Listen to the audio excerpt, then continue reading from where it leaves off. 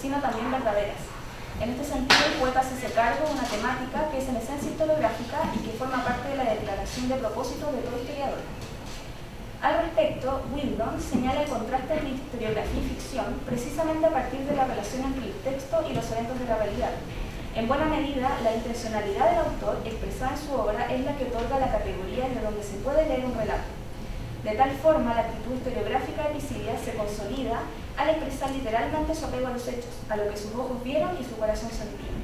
Su constante preocupación por disponer óptimamente de los hechos, no faltar a la verdad y conseguir una relación fluida entre sus palabras y la realidad que éstas describen, lo posiciona sin dudas en esta preocupación propiamente historiográfica, que es el convencer a la audiencia de la veracidad de lo narrado.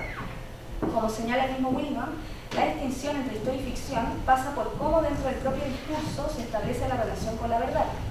Son a fin de cuentas ciertos recursos retóricos los que condicionan la recepción de un relato y la capacidad de creer en él como testimonio histórico. Por último, la concepción del relato de parte del mismo Pisidias. Eh, llegamos por último a la poética que rige la obra pisidiana, la declaración de intenciones.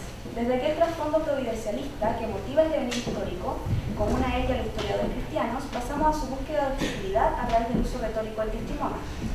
Esto es, independiente si efectivamente él fue testigo o no de los hechos que relata, importante a nuestro análisis es que declara así haberlo sido, construyendo con ello una imagen de su obra y de sí mismo próxima a la historiografía momento.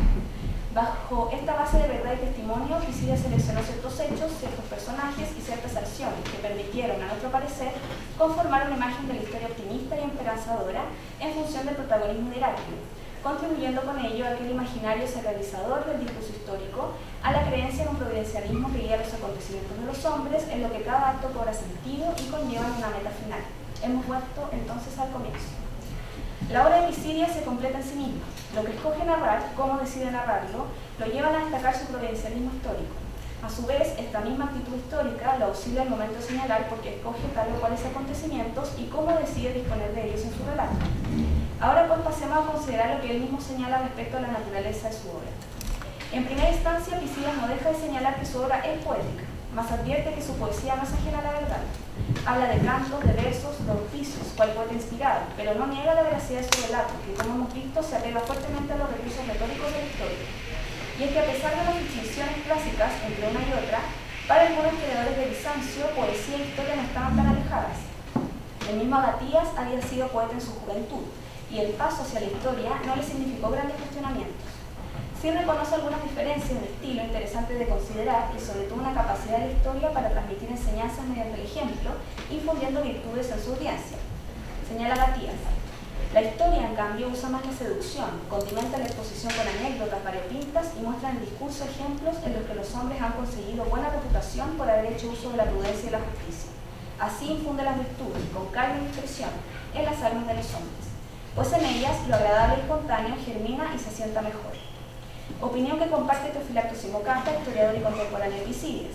Para él la historia destaca tanto por su seducción como por su capacidad educadora. Es en sus palabras deleitosa para los oídos y educativa para el alma. Reconoce a su vez que aquellas funciones las cumplió en un primer momento la poesía a través del mito y la ficción, pero esos mitos y ficciones han sido reemplazados hace siglos por la verdad revelada del cristianismo y en la historia ahora la que asume la narración del devenir histórico, la ejemplificación moral y la seducción en el relato. Como señala Cameron, eh, no podemos olvidar que ya en el mundo antiguo se reconocía claramente la historia de la poesía, mas no a partir de una verificación de hechos que se encontrarían fuera del texto, como lo hace la crítica moderna para distinguir entre verdad y ficción, sino a partir de las intenciones del autor y de su capacidad para persuadir a la audiencia de lo que su obra es. A nivel textual, Pisidias efectivamente declara en varias ocasiones la naturaleza poética de su obra. Es innegable, por tanto, la dimensión épica y propiamente literaria de esta. Como hemos señalado también, esta elección formal pareciera responder a una necesidad política y estética al mismo tiempo, al requerimiento de un héroe que otorga esperanza en un momento de crisis. Mas tampoco es factible obviar aquella otra dimensión que hemos decidido denominar como actitud historiográfica, una voz discursiva paralela y tan presente como aquella de carácter poético. Y si el poeta señala esta última explícitamente al señalar que lo que hace son versos y poesía, creemos que así también explicita aquella de carácter historiográfico cuando declara relatar la verdad lo que vio con sus propios ojos, lo que tiene testigos, lo que merece no caer en el olvido. Posiblemente, en base a esa misma dimensión de los poemas épicos pisidianos, Teófanes, el historiador que lo recoge, no dudan en incluir al poeta como parte de su repertorio de historiadores y narradores en los que sustenta la creación de su cronografía. Si pensamos a Teófanes como lector antes que como historiador, y recordemos que como tal tampoco existía, podríamos aceptar que la actitud historiográfica del poeta lo envuelve y lo persuade de estar frente a un testimonio fiel. Recordemos que cuando Teófanes incluye a Pisides en su obra, lo hace a veces citando extractos completos de sus poemas, otras veces frases o palabras claves seleccionando cuidadosamente. Sin ello, la reconstrucción de buena parte de la obra pisciana se habría perdido irremediablemente.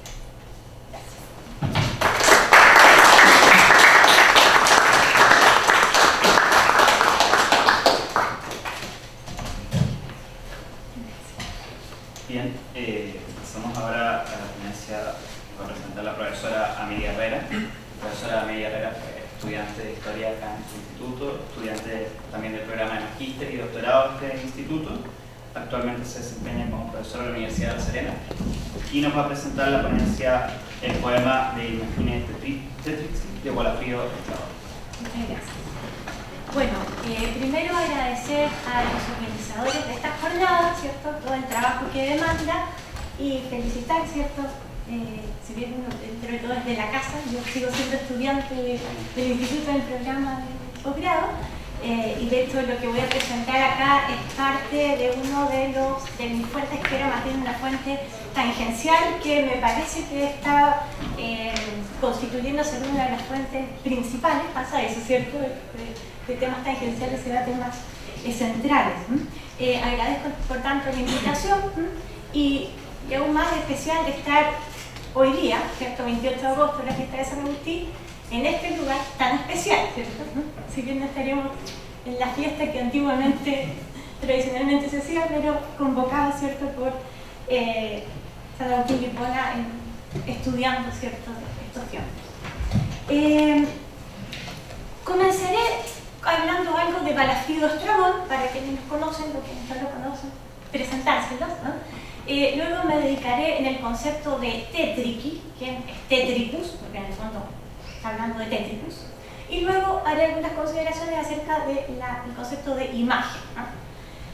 Eh, este poema eh, se conserva, está dentro de los escritos que eh, acá la redundancia escribe Estrabón en el Palacio de Aquisgrán. Por eso es que muchas veces ¿cierto? se recoge, eh, ustedes pueden encontrar los versos en el, del palacio, editados en el Palacio de Aquisgrán, ¿cierto?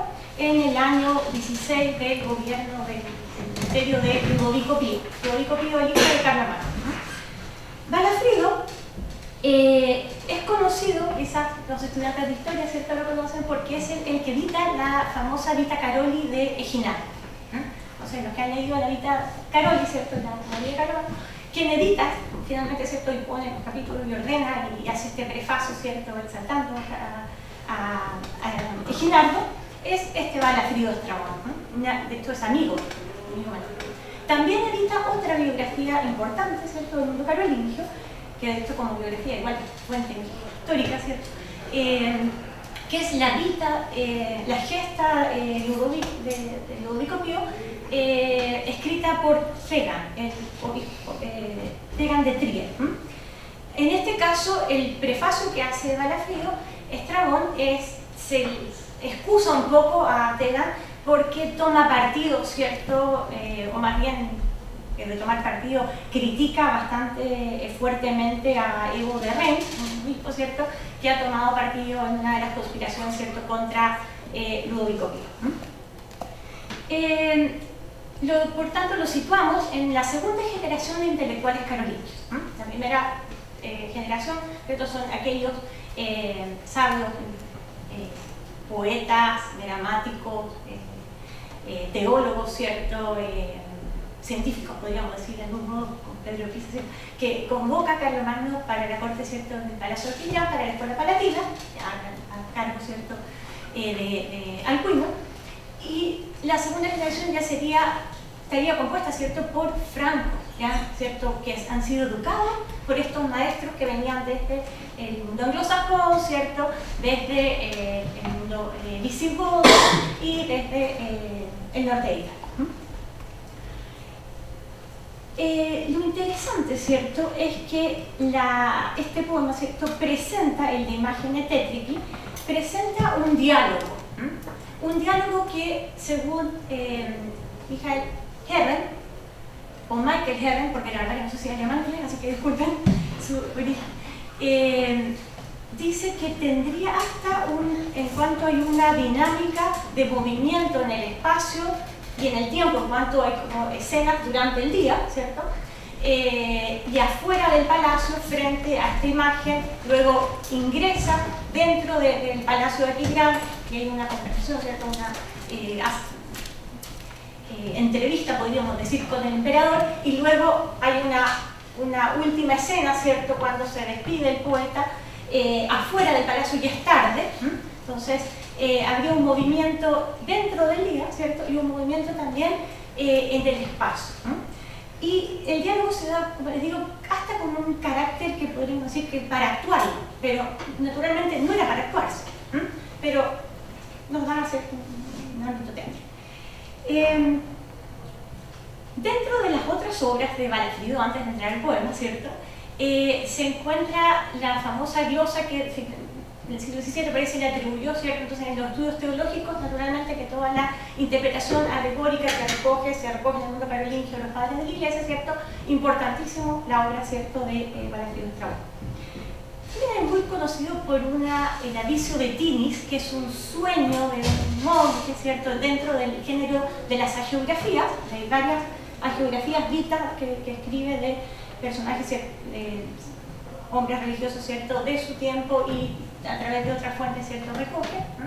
Eh, la aviso que tiene es que estaría el sueño de esta mujer que se presenta, quizás por ahí lo han escuchado ustedes, eh, a Carlos Magno eh, purgando por sus pecados, especialmente por los pecados de la carne. Entonces es interesante cómo la imagen de Carlos Magno aparece como el pecador. Pero en el sueño de este monje, entonces hay como una doble lectura, ¿cierto? ¿verdad? Que en este poema está eh, claro, pero a la vez oculto, de a quién se estará refiriendo. Em, también, a, mediados del siglo XX, década de 1950, eh, Bernard Bishop eh, encontró, bueno, identificó un cuaderno que es como un cuaderno de, los apuntes